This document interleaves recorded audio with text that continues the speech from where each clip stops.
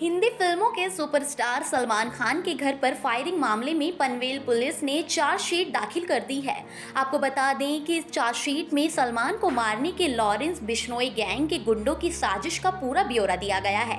आपको ये भी बताते चले कि पनवेल मजिस्ट्रेट कोर्ट में पिछले हफ़्ते पेश 350 पन्नों के इस आरोप पत्र में बताया गया है कि बिश्नोई गैंग ने पंजाबी गायक सिद्धू मूसेवाला की तरह ही सलमान का मर्डर प्लान किया था।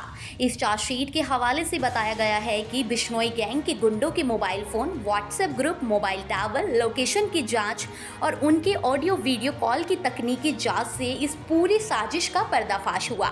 इसमें बताया गया है कि लॉरेंस के शूटरों ने सलमान खान के पनवेल वाले अपने फार्म हाउस से शूटिंग के लिए निकलते या लौटते वक्त उन पर हमले की योजना बनाई है।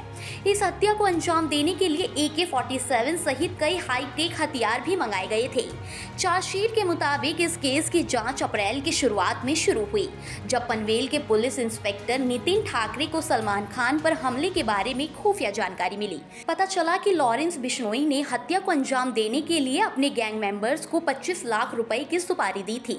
इस गैंग ने इस कांड को अंजाम देने के लिए 15-16 गुंडों का एक व्हाट्सएप ग्रुप भी बनाया था, जिसमें बिश्नोई का कनाडा में रहने वाला चचेरा भाई अनमोल बिश्नोई, गोल्डी बरार, अजय कश्यप, विनोद भाटिया वासफी महमूद खान उर्फ़ चाइना और रिजवान हसन खान शामिल था।